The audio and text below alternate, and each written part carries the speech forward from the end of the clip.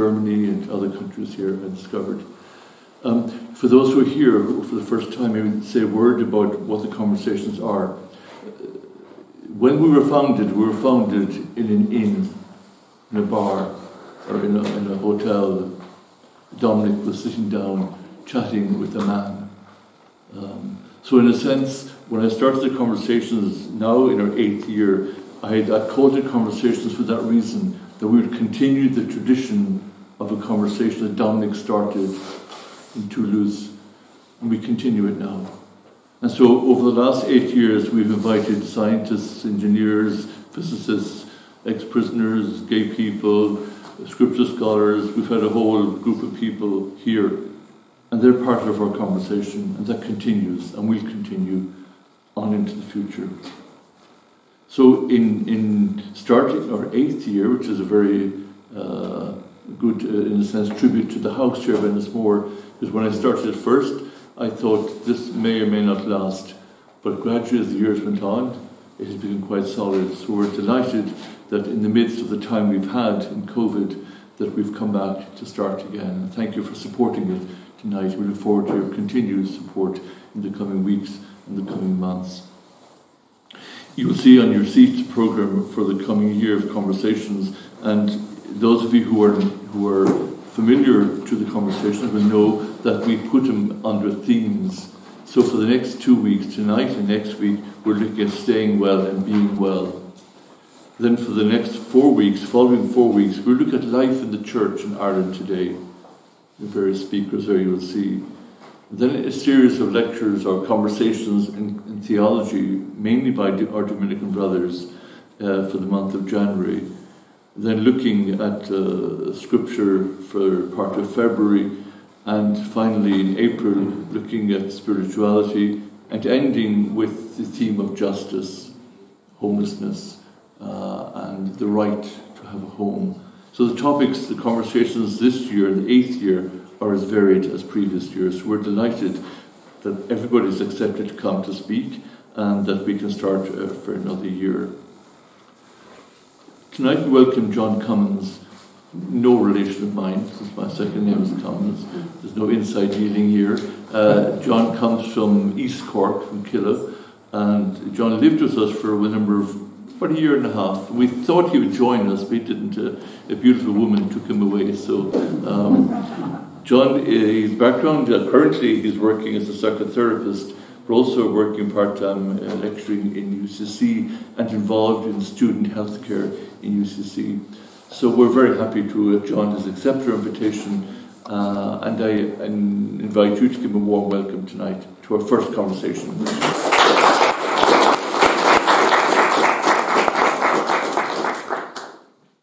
So I get to take off my mask, which is nice.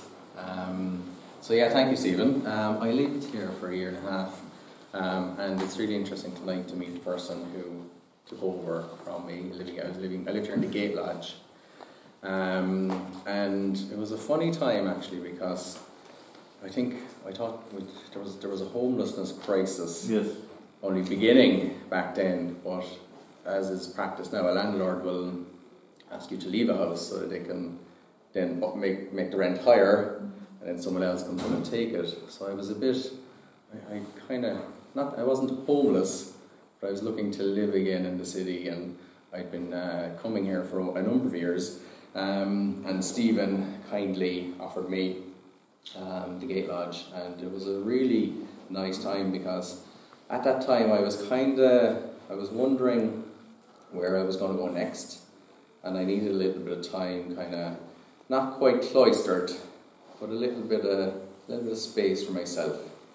Um, and I think Stephen did actually hope that I join um, in, and I think there's a monk in here somewhere, um, but he didn't decide to join any order. He said he'd stay in the real world, um, and not to say that this isn't real world, very much is, but uh, I guess I decided I'd stay and be a householder, um, and kind of see how I could kind of maybe bring kind of the qualities of contemplation into maybe the university or the healthcare setting that I was working in. Um, so I had that nice balance where I could have a nice quiet space But I also managed to have a Wi-Fi connection and Sky TV, so I wasn't completely isolated. But I actually didn't watch a lot of it in the end. You know, I needed I needed a connection because I Wi-Fi connection because I needed to reach the outside world, and I really saw the value of that. I needed to reach people in the states who I was connected to, and in the UK. Um, this was obviously before we, we knew how important that would be. Um, and I got to use the house here. So I took my first meditation retreat here in this room. And I, I've spent in this room here four weeks in silent practice, which is kind of cool to say now, you know. At the time, I just, was just something I wanted to do. Um, but when you spend that amount of time here, you get to know the place really, really well. And you get to experience all the you know the changes. I've been here in different seasons. Um, but it's quite profound to, to sit here early in the morning and see the sunrise up over the Port of Cork at different times of the year, you know, January, February, October, um, and to see the seasons change here as well, you know. So you've seen them change, the, the corn gets cut and it gets planted, it gets sown, and it gets cut, and it's kind of very, it's a very contemplative atmosphere, you know, that, that you get to enjoy. And the library here, there's many, many books, and I read many of them um, because I would come and I would sit. And it was challenging at times because I was pr- trying to practice more meditation, you know, I was trying to sit and sit with my mind, and my mind would go into you know, all sorts of stories. And sometimes I get very restless, so I'd come out here. It could be late in the evening, and I'd walk mindfully underneath the lights here, so near the trees. And I'd go to the, the prayer room, and I'd sit there, and I'd come to the library. And I was doing these different things to kind of help my mind to settle down. And I think what I was really doing is I was learning to tolerate the uncertainties of life in all those moments um, and Rose, who's here this evening, um, gave me a very good quote. There's, you'll have to help me, Rose. The only thing that's certain is uncertainty. Yeah. So the only thing in life that is certain is uncertainty. So I always find it these actually. I was speaking to, to Alan and Bill. Um, you know, I always learn something from someone else in, in the you know when I come to talk in any in any group there's always some wisdom that someone brings forward, and I think um, that would be good if there's there's lots of wisdom here tonight. Um, because really, what we're talking about is how can we live with uncertainty in a wise way, you know, and that comes with a bit of wisdom, you know. The, the certain thing in life is uncertainty. Um, so there's a kind of contemplative element to uncertainty, you know, if we're to just say mention contemplative, you know. Um, and then there's there's techniques, there's things we can use. You know, there's ways of understanding who we are and how we are in the world. There's a there's a lot of commonality between all of us as kind of humans. You know, we all. Anyone here not know what it's like to experience uncertainty? You know, everyone's experienced something uncertain. You know, something hasn't been certain until you know the last moment, or um, you know, until we can get it confirmed, or we might, it might never be confirmed. But being able to, to tolerate it is a beginning. Being able to live with it um, is really useful. Um, and that doesn't mean that we, we get to um, kind of eliminate or get rid of all of our worries, but we can develop a different relationship with how it is. Um, so that's just a way of kind of introducing, introducing the myself and introducing the talk. Um, it's kind of setting the scene, I guess. Um, but I, I'd really love if, if you guys could kind of bring forward what you know. Because essentially, what we're all doing here is, you know, I'm setting the scene or giving the frame, but we're, we're all teaching each other, you know. All, we can all really learn from each other as well. Um, and you might be coming to these talks for a number of years. You know, you might have been brought along to talk this evening by somebody else um, but just to say as well, it's, it's, it's great to be able to sit in a room with people. I think this is probably the first time I've sat in a room with this amount of people in over a year and a half, which is kind of powerful. So thank you all for showing up. And I guess, you know, the fact that you're here, you, you bring something, and if only one of you weren't here, if only one person was missing, you know, the atmosphere would be different. Things would change. You know, so um, don't underestimate the power of your intention for coming, whatever way, you know, whatever that is. But it's just to be here to listen and, and to support the conversations. So yeah, in the spirit of that, um, you know, uh, it's interesting to know that, um, like all great places, you know, the idea for the Dominican order started in a pub, or at least was formed in a pub, in an inn. Um, but obviously, it began as well because of conversations. And when they began, they weren't sure how it was going to work out. They were ever certain, but you know, I don't know how many years it is now, but it's many, many years. Um, hmm? 800, you know, wow. The thousand year view, you know, there's surely another 200 in that, um, or more. Um, one thing I like to mention here as well, just in the spirit of, of the place that is Ennismore and the philosophy, is that, you know, um, I like to practice meditation, mindfulness, uh, as I mentioned. Um, and I've always found over the years that rather than that bring me away from spirituality or traditional uh, Catholicism, um, kind of has brought me back closer to it actually and, under, and helped me to understand it more. So that's been an interesting um, interesting uh, change in perception or interesting way to, to know that kind of, you know, meditation in all its forms um, supports, um, supports this, the contemplative spiritual element. Um, the work that I do currently, Stephen was asking me what my title is. I, I kind of struggle to give myself one, to be honest. Um, my background training is in mental health nursing. I'm also trained in psychotherapy and med- as a teacher in meditation, mindfulness meditation. But if but if you were to call me by my identity, I work in the Student Health Centre in UCC. I work there with students who have complex mental health needs. Um, but before that, I used to work as a manager in HSE in mental health. So I managed a team during the pandemic. So that was my previous title. I don't do that anymore. Um, and I lecture students in college as well and university. Um, and then I work in private practice for myself as well a couple of days a week. So I do those different things, and that helps me to kind of stay engaged. And then I do some things like this, just have a chat with people and have a talk. Um, so yeah, where will we go from here? The violinist Martin Hayes. Have any of you guys ever heard of him? Do you know who he is? He has a great way of talking about you know music and playing the violin. You know, and he often says, you know, we have a plan, and then we don't know what's going to happen, you know. So I have a little bit of an outline of a plan here, and I don't really know what's going to happen after that, to be honest. I mightn't even stick to this. So kind of one of the the um, the things I'm playing around with is literally uncertainty here, you know, um, and the style of giving the talk here really this evening um, is to kind of just really speak from what's arising in the moment. Um, and you might, you guys might just see how that affects you. You might think he's come with a sheet, he's not prepared. That's, I couldn't do that. that.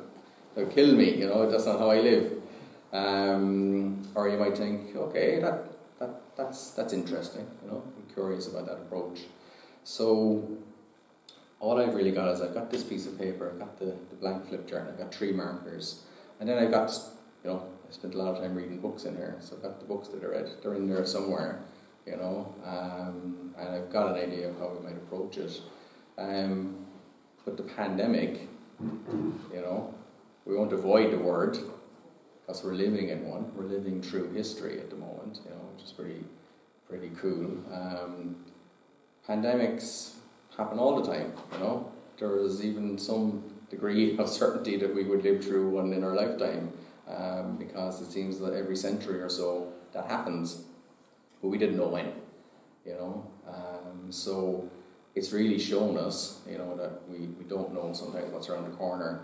And for many of us, it probably just ripped off that veil of illusion that we had control over our lives um, when we really don't most of the time, you know. Um, and the, the Greeks, the ancient Greeks talk about this, they've talked about it I don't know how many thousand years ago that was, uh, Stephen. When would you think that was? 800, whatever it was. Um, but they talked about, you know, chaos, you know, and they talked about complete, complete disorder. you know, um, and they talked about control, you know, and that as a, as a Gaia, as a world, you know, we're trying to maintain control and equilibrium, you know, that, and that, that actually is a very normal part of being human. We need that, you know, um, but then to be able to live in uncertainty um, is probably one of the greatest challenges any of us will ever have, you know, um, and and yet we, we all know something about it. Um, so I kind of want to bring in a practice. So it, it would is there would everyone here be open to trying a meditative practice, a mindfulness practice? Mm-hmm. So we'll spend just a little bit of time um, breathing. Um, and this is actually one thing that we can do to help tolerate uncertainty, is to breathe, to sit and to breathe. So take a comfortable seat for yourself. If this isn't for you, that's okay. You can you can just kind of you know do something else, you know. Uh, but if it is, you know, take a seat that's comfortable for you. You know, you kind of you all have a posture there, and if you wish to, you can close your eyes, but you don't have to. Okay. And as you're sitting here, just begin, just begin to be aware. Just to be aware. So we're we're Homo sapiens. What that really means is that we have the ability to be aware. Just being aware of how you are in this moment. What did you bring with you this evening? Did you bring any worries? Did you come with an open mind? Are you curious? Just noticing how you are. Listening to yourself. How are you right now? Maybe you notice an emotion that's here with you, if any.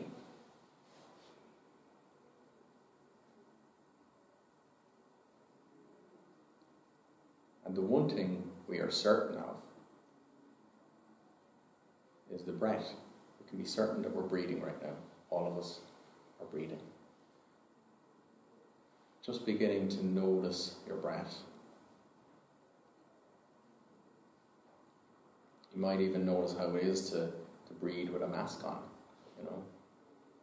How is that? How is it to breathe and to notice your breath? And to be very gentle with it. You don't have to, to force this, you're just really noticing that I'm breathing. And it's moving in through the nose and down into the body. And it's very automatically then coming back out through through the body again. Might come out through, through, through the nose or the mouth, whichever. Just taking this moment to be aware of how you are as you breathe.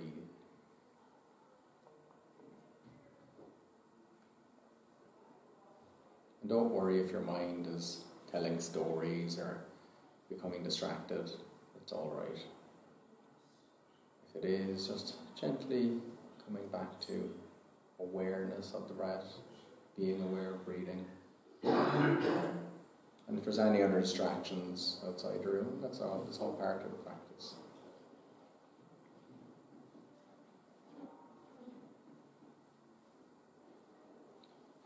Just very gently noticing the next in breath. You breathe in, as you breathe out. So on the in breath, when you breathe in, you stimulate the sympathetic, and when you breathe out, you stimulate the parasympathetic part of your nervous system. So just breathing down into the belly can help to regulate your nervous system, can help to regulate your body.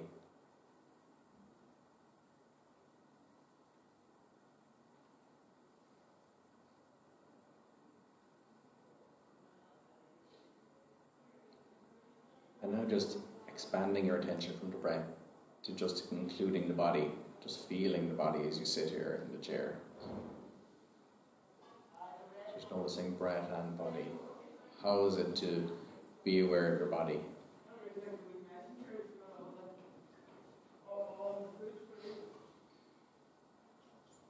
And if there's distractions or loud noises, that's all part of the practice.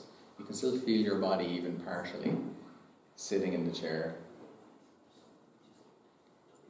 You might notice the feet, the hands. You might just notice how your spine, your spine is supporting you and sitting.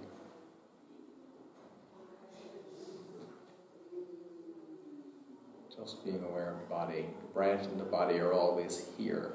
They're always present. No matter how busy your mind might be, that's all right, it's okay.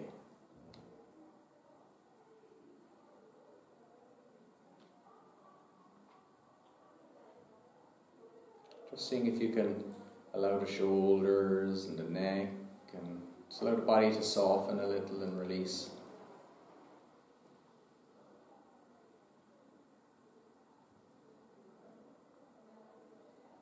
Just knowing here that we're, we're in a room with others, with many other people. This is good. This is good for us as human beings.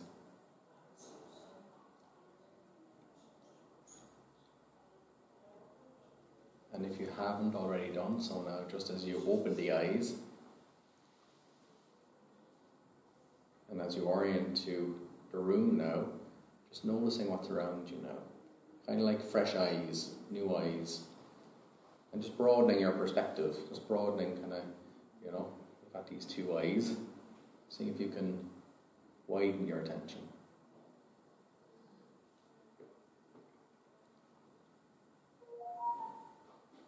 The mind is so much bigger than where we think it resides in the head.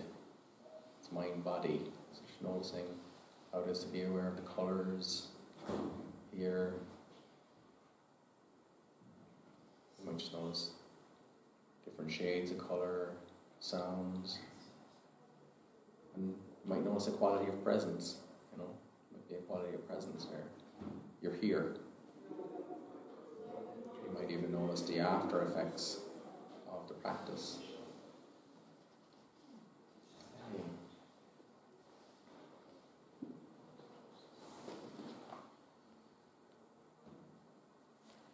Hey. So we've got some really precious time now to talk about uncertainty together and have a conversation about it. And I mentioned the Greeks talking about chaos and control, you know, and as humans, we like to feel like we're in control of things and control of life. And we will engage in certain ways of trying to control things. Okay?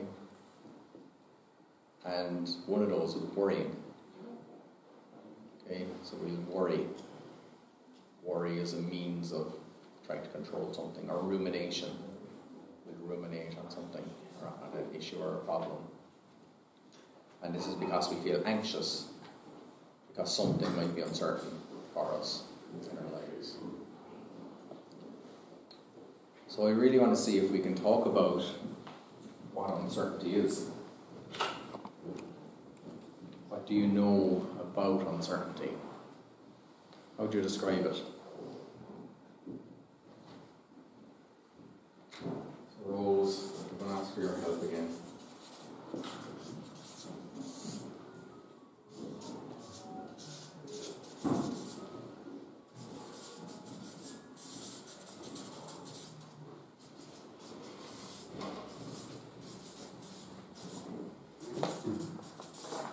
Hey.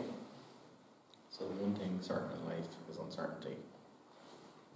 What else does anyone here know in, in the group about uncertainty? How does it feel?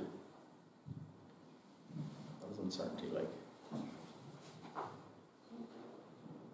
It can be a bit unnerving. Hmm? It can be a bit unnerving. Unnerving. Yeah. Unnerving. Lucia and Francis. Francis, yes. Thank you, Francis. Yeah, got the names right. So it's unnerving. What does unnerving feel like, Francis? Um, I just want to say a bit uncertain. Um, Yeah. you, can, you can feel perhaps a, bit out of um, being out, of your depth. Yes, out of depth.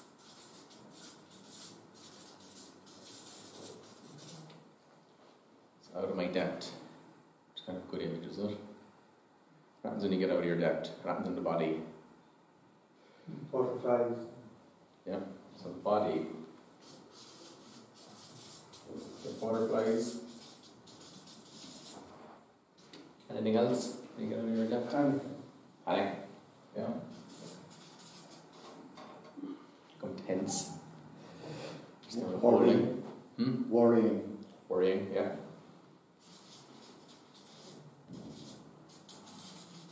So we've got the body and we've got the mind. They're not separate. Okay? So we've got tension. We've got worry. What, what does worry. Sorry, did you mention worry? Yes. What's, can I get your name? Joe. Joe. Tell me about worrying. What does it feel like to you when you experience it? Where does it come from? Feels as if it's coming from my brain and my and my stomach. As if I'm giving it power. Your brain and your stomach. As if you're giving a Yeah, as if I'm giving it a power. You're giving it a power. Ah, yes, thank you, yeah. So you're giving power to the worry. To the worry. And then I'm letting the worry control me.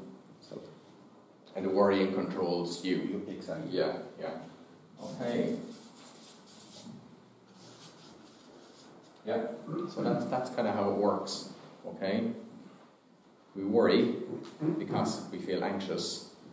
We have a physical reaction in the body. And then what happens is we worry more, okay? To try and control the thing that seems uncertain. Is that making sense? Mm-hmm. Okay? So I'm going to introduce you guys to a model of understanding this. Okay? Just kind of, so the what ifs actually I meant to mention. Okay?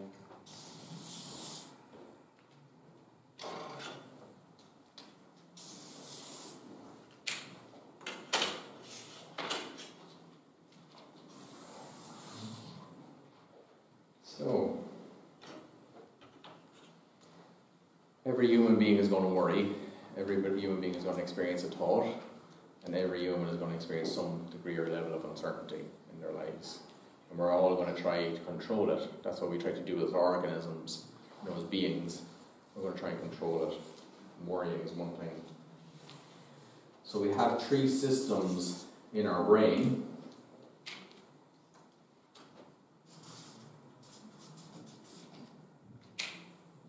And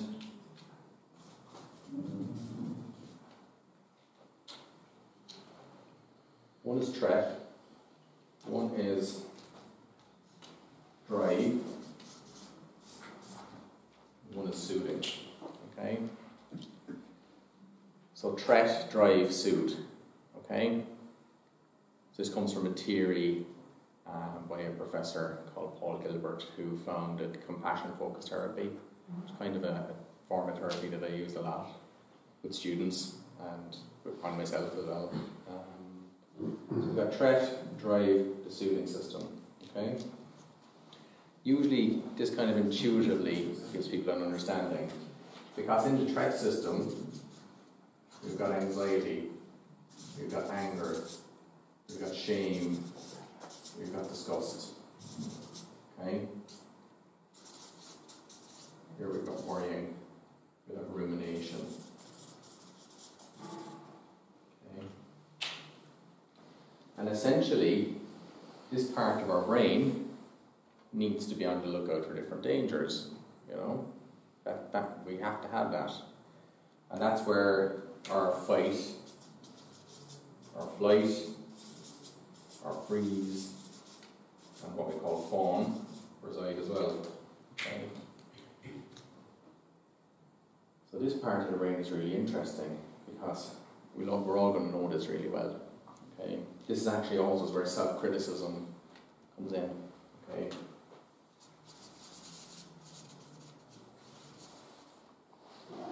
We're going to get to the part about tolerating uncertainty as well. I think. I hope. Um, but I don't know. So we have a drive part of our brain. So what do you guys know about drive? Anyone here driven? Instinct. Instinct. Instinct. Having goals. Goals. Yeah. I like instinct. Great word. Thanks, Bill. Instinct. Having goals, motivation. Yeah. So he had to drive to get here, and it wasn't just a car journey. It was well, not sure about you guys here now, but certainly Trisha, you had to drive to come here, and you gave other people to drive to come with you. So you had to drive the motivation. So we all have a motive in life. There's a motive. You all have a motive in coming here, whatever it was. You know, it might just have been to learn something or do something different. So I know, France. I know your motive, Lucia, was to come here to learn something new. Yeah, or to to do something new because you have time now. Okay, so we have a motivation, a wish. We're driven. The students I see in college, they have a drive to achieve. Um, you know, they want to, if you're studying medicine, you want to become a doctor, you know, or you want to, you want to better yourself through some form of education. Does drive mean anything else to anyone here? You might there might be some wisdom here that you guys have. What does drive mean? Yeah, instinct is a good one. you know. Making choices. Choices.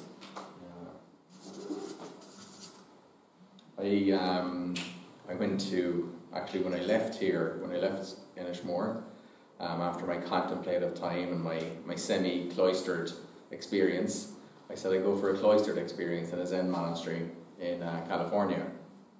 And so I flew out to, to California to this monastery that was way up high in the hills. Um, and I had to get someone to give me a lift out, you know. So you know those Tesla cars?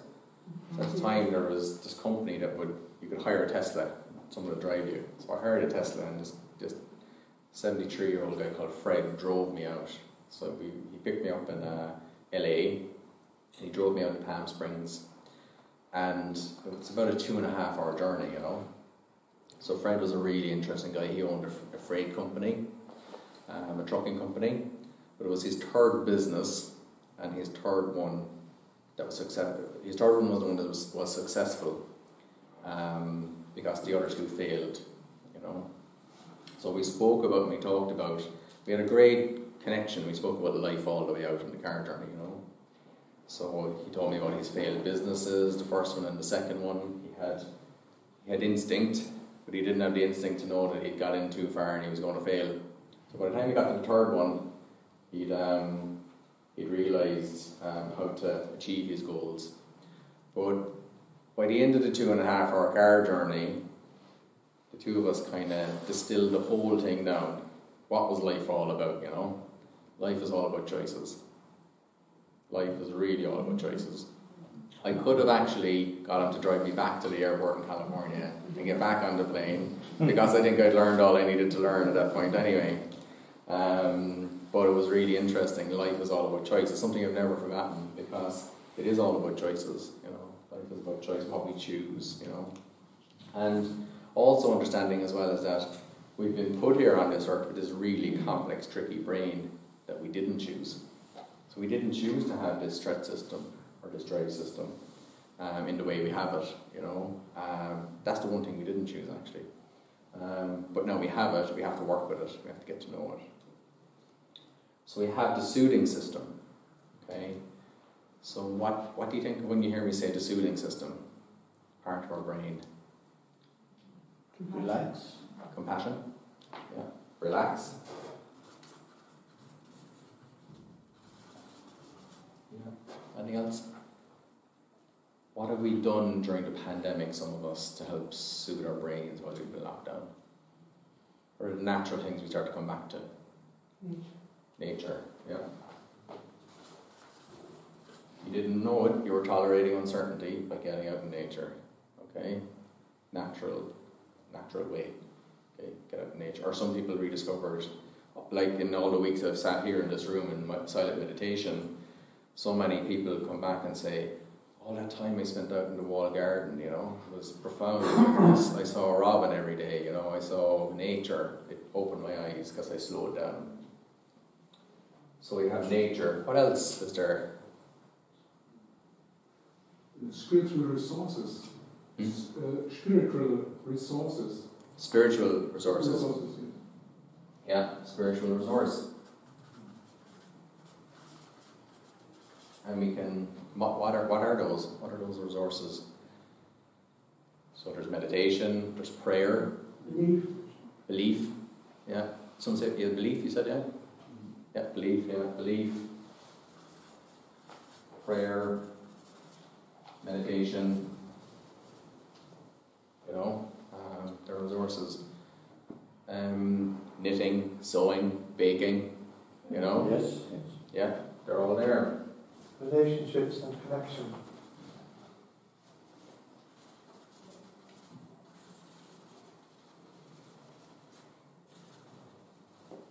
connection and because I've talked to a lot of people about connection and social connection and how important it is, you know. Um, but it's not just social connection. Connection can come in so many ways, can't it? You know, you might just connect to a book that you read.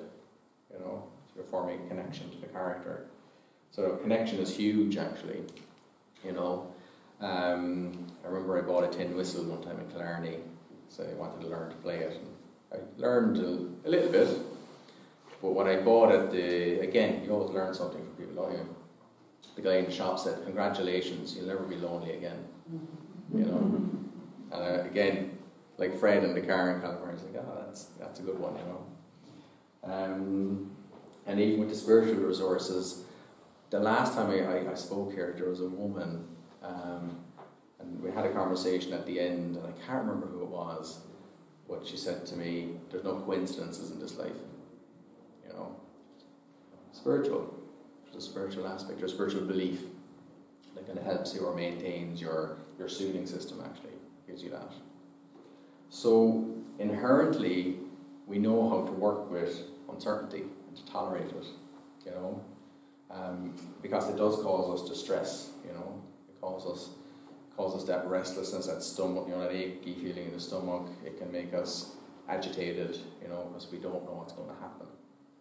Um, and we, we already know that we have access to these type of things, or most of us anyway, that can help us to tolerate that distress. Okay, we call that distress tolerance. Could you put in uh, Mhm. creating a routine? Routine, routine will be here in Drive. Okay. Um, yeah, I was not creating a routine would be a soothing thing to do. Yeah. So things can go into both. Okay. So yeah, so it's not so it's not like meant to be a black and white model. So routine. Okay, let's talk about this from the title of the talk. What does routine give you? It gives you certainty.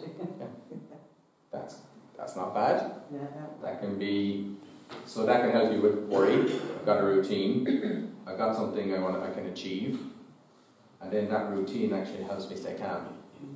Yeah, so it kind of goes across. It helps the systems. I talk to people all the time about what percentage they might think they're in these. You know. So if you were to say, and again, this is just a kind of a way of kind of talking about it. If you were to say how much time you're in each one of these, and each one, each circle was 33%, you know, how often would you think you were in threat, drive, and the soothing system, you know? So most people would say, I, John, I'm 70% in this one at the moment, 70% in threat, and then I've got maybe drive 20%, 30%. I might have maybe none here. If you're a student who really wants to get their exams done, you might be huge drive. That, but that drive might wear you out, might be worn out from it. Um, and you might you might have some um, anxiety here, uncertainty, worry about passing the exam, and this one mightn't be so well developed. One of my friends recently, who was on maternity leave, said she's got loads of this. She's got lots of green and soothing, you know, way more than she has of these. So we, we move, we tend to move between these different systems. Um, and if we can understand it from the point of any of these, but you know, worry is the what if, you know. We want to get a sense of control over our lives. And that's where that feeling of uncertainty comes in. I don't know what's going to happen. And there's a, I'm just going to check the time now as well to see where we're at. Oh, yeah, we've got a little bit of time.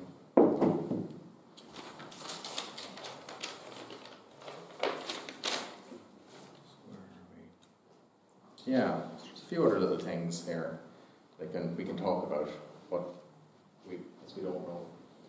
Um, we don't know what's going to happen for for the rest of the talk. We're going to leave it uncertain. Someone might have a, have a question. Do you kind of get this model? Mm-hmm.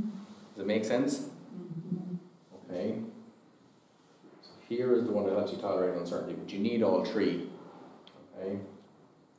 But then there's the contemplative aspect of uncertainty. Okay.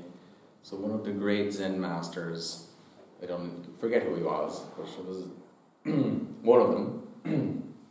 His quote is, "Not knowing is most intimate." Okay, it's kind of like a koan. Do you guys know what a koan is? Okay, so a koan is like something that you sit and could be a story, or it could be a story, or it could be something that you just a quote that you sit and you meditate on. And then through the process of meditation, you move more from trying to figure it out up here to kind of figuring out with here and here, or like we do here, you know. Um, so yeah, not knowing is most intimate. It's always really interesting. What's that mean? Anyone take anything from that? Not knowing is most intimate. It's a koan. But not possessing. Not possessing. Okay. Sorry, could you spell that word, please? The Koan. word you- Koan. K O A N. Okay. One. It might be the how do you pronounce it? So not possessing. Okay. So can I ask you more about that? Well, the quotation you gave again, John, Not knowing is most intimate. yeah. because I suppose knowing can become selfish or power, power, Yeah. and therefore letting go the freedom that you, Yeah. and that's an intimacy of who you really are. Okay. Okay. Yeah. So the intimacy of who you really are, the truth of who you are. Yes. So you could you could meditate on that for a week, you know. But we all know what it's like to not know. We all know what it's like to actually feel it in the body. And we know that we can give it power by worrying over it. So the antidote, and this is my this is my antidote now, it mightn't be you mightn't hear this anywhere else or someone might disagree with me. The antidote to uncertainty I think is trust. Okay? So there's a few people nodding their heads. So, what's trust? What do you know about trust? As a hmm? Faith, faith. Faith. faith. Yeah. So we're moving now from the kind of psychology, shifting to the contemplative. Is that okay? So faith.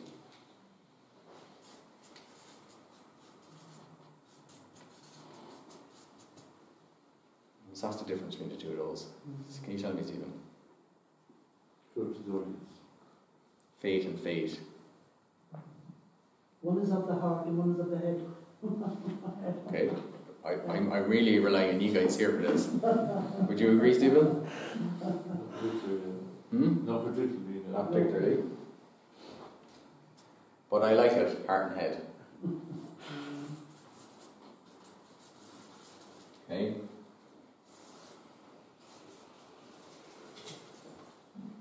And faith can, for me, can be, F-A-I-T-H, can be maybe a trust in a belief that something might be true or not. The F-A-T-E part is maybe more predefined in some way for me. Predefined. Okay. One is positive and one is negative. There's a positive and a negative. Which is positive, which is negative? I would think F-A-I-T-H is positive and F-A-T-E is negative. Okay, what's, what makes it negative? What's negative? Makes faith negative? One is the, is the response to the other, or the result rather of the other. One is a result of the other. Yeah, fate, the fate in the long term. Okay. What's needed is trust, okay? Mm-hmm. What's needed with uncertainty is trust, okay? So has anyone ever felt really uncertain about something and it worked out? Worked out okay in the end. So you need a level of trust. So this is the this is the the spiritual resource, the ability to be able to feel uncertain and get to know it, and be able to feel it in the body. So we know it from the mind. We know it appears as worry, and it'll appear in the body as a physical feeling, but it also will appear. You'll feel it in the heart, and you can feel that uncertainty. But then you can feel also a, a quality or element of being able to trust in life, essentially. So this is the contemplative piece. Okay. Head, heart, or mind, body, heart. Okay. How's that sitting with people? Well, I'm sitting here thinking there are millions of people who have no faith Mm-hmm. in a religious sense, Mm-hmm. and they do precisely what you've just said. They trust in life, Mm-hmm. and they trust in their relationships with other people. Mm-hmm.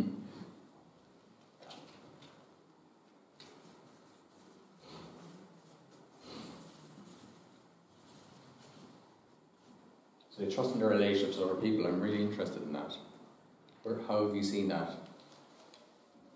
come forward in people who might have a what we call a traditional, maybe, faith?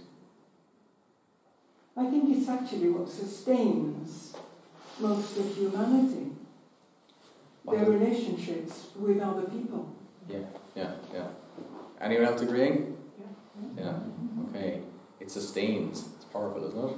Absolutely. Sustains. You know, community, connection. It helps you to tolerate the uncertainty of life. You know, sometimes a good. You know, there's many. There's like there's so many wise people you'll meet. You know, but it takes a quality of wisdom as well to know that that we have in all of us, because we all have we all have this in us. The system is here. We've got this really tricky brain that we can't control a lot of the time, but here we can trust in something. And it can give us that connection, that community. Anyone heard of Manchán Magan? Yeah. Yeah, Moncon's a really, really interesting guy. He's travelled the whole world. Um, and I used to listen to his travel show. But you know, if you go and see Manchán talk or you hear him speak, he kind of says that he just trusted in life and people look after him. Essentially, you know, it's kind of it's very, it's very free, isn't it? So I, I'm kind of kind of curious, and I, I, again I'm a bit uncertain here, but can any of you guys feel a bit of trust in you at the moment? Okay, Tricia, can you feel some trust? Yeah, huge. Where do you feel it? Oh, you mean physically? Yeah, physically, yeah. Or maybe what, in whatever way you feel it, because I'm learning from you. What, where, where is it? Is it appearing in the mind? Is it appearing in the body? Hmm. It's, it's all over. I mean, it's both mi- mental and physical. Ah, okay. Yeah, so it's all over. It's a full body feeling. It's pretty cool, isn't it? Anyone else feeling that sense of connection to trust? Lucia, yours? Yeah, you're I nodding. think, I think a lot of it is to do with kind of acknowledging your vulnerability in yourself. Ah, thank you. now we're getting down. We're getting down and dirty. We're getting into something that can be difficult, really difficult for people. Vulnerability. You know, we're getting, you know, because what's the? I'm talking the antidote to, sh- to uncertainty is trust. What's the opposite of vulnerability? The, the shadow side. Shame. You know, shame can keep us away from connecting to community. You know, it can put us into the red, into the threat.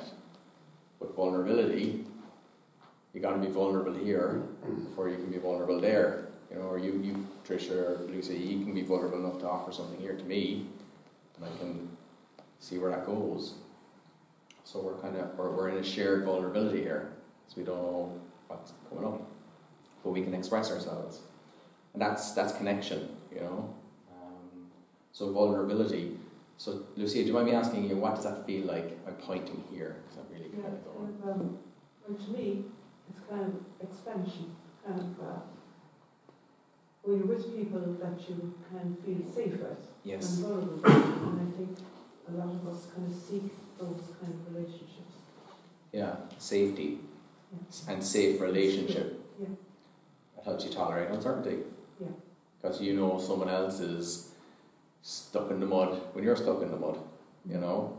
Or when you're giving yourself a hard time, you talk to a friend. Do they give you a hard time with it? They usually of go, yeah, I know what you're talking about. helps you get out. But you've got to be vulnerable. you've got to bring it. And you got and, and and what's the key element in vulnerability and safety in relationship? Trust.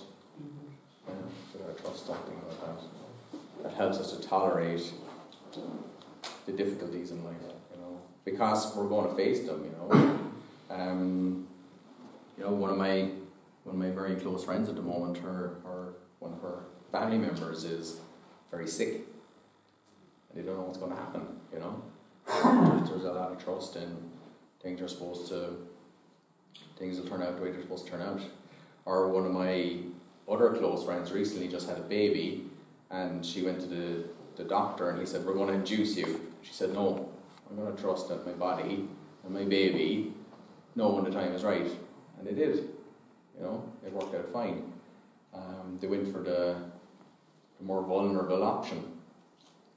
Um, so We've got five minutes. Five more minutes of total uncertainty now. we don't know what way it's going to go. Like the violinists, like Martin Hayes or Manchán or, you know, any of these people, you know, and again through history, you know, the Dominicans didn't know where it was going to go, and 800 years later, you know, they're the wandering rabbis of their, you know, they just literally walked around and, you know, somebody fed them, you know um, or you know people will hitchhike across the world and they trust that there's a lot more kindness than there is bad bad things happening. Um, you know, with the pandemic, you know, a lot of good things happened. You know, a lot of a lot of kindness. A lot of people, you know, where I live, one restaurant just made 300 meals every day for local people. You know, that really came true because everybody was feeling vulnerable You know, so we got to pull together. All of those things help us to tolerate, help us to tolerate the uncertainty of the pandemic. What I'm really curious here, and I kind of want to take a second, just going to kind of sense into what's here in the room. I'm really curious about this for our last few minutes.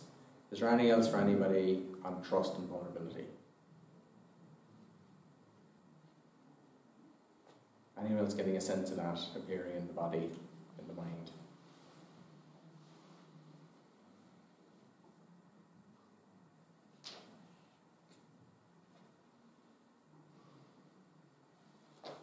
Certainly getting a sense of presence. So you might feel disconnected from yourself, or you might feel kind of present here, paying attention. Um, but I think for me, the mind, body, heart, not knowing is most intimate. We can kind of get to know that. We see, you know, when we connect to it, we connect that sense of trust, we can, we can see our own vulnerability, we can see what we need. We need safety in ourselves. And if you can listen to yourself, you know, turn in towards yourself, even for a moment, you can see what you need and you can know what you need to be able to tolerate anxiety tolerate uncertainty. You know? So, storm Ophelia a number of years ago, you know, remember my, my mom started baking for the first time in years again, you know. That really helped, you know. Um, and trusting in life piece as well, you know. Often when I work with people in one-to-one practices in psychotherapy, we'll see what the head is saying, we'll see what the belly is saying, and we'll see what the heart is saying. Okay? And usually, fear is in the belly, stomach. Yes. Yeah. You get a bit of trust and vulnerability in the heart, and then you'll get the head trying to run the show and tell you what to do. That's the worry. And you need all of them, but you need to be able to listen to them. You need to be able to listen to what's here in terms of trust. You need to be able to listen to your fear to know how to work with it, or listen to your anxiety. And then once those three are connected, you can trust that you're on the right path or the right road. Easier said than done, and it's a lifetime of practice and work. But everybody here has got the capacity and ability in this time and age to be able to do it. Okay. I think we finished there. Is that all right? so thank you all for coming here. Thank you all for engaging and, um, and giving contributions.